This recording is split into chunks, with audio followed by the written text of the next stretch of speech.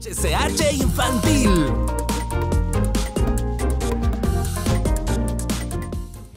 Hola amigos, es un gusto saludarles en este año 2020, donde seguiremos destacando aquí en HCH Infantil los talentos de las niñas y de los niños de Honduras. Por eso quiero presentarles esta historia de Diana, que a pesar de su corta edad ya es dueña de su propio negocio. He aquí los detalles. Pequeños emprendedores con grandes sueños. Ella es Diana, una hondureña que a pesar de su corta edad es dueña de su propio negocio. Bueno, Rearma, mi proyecto está basado en reciclaje, artesanías y manualidades.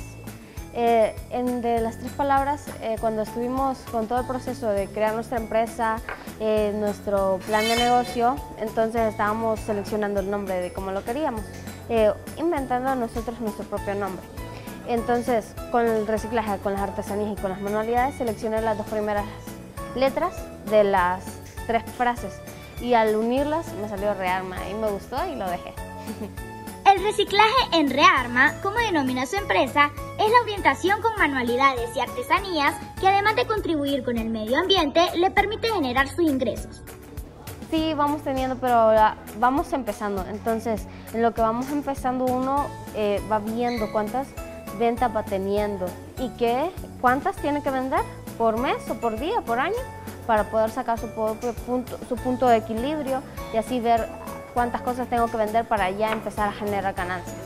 Además, es dedicada a elaborar exquisito aromático, con visión de caficultor. Diana sueña con ser a futuro la mejor en el rubro.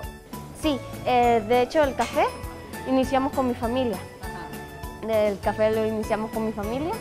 Em, con una empresa familiar. Luego, uno como niño, como niña, siempre es parte del proyecto en mi comunidad, ser parte de todo el proceso que conlleva el café. Y bueno, em, empezamos con ella y ahora yo soy, eh, voy a seguir creciendo, entonces yo voy a tomar también el papel de ser una caficultora. El posicionamiento de las niñas está rompiendo esquemas. Atreverse y creer en nuestro talento es el mensaje de esta pequeña catracha 5 estrellas. Gran ejemplo.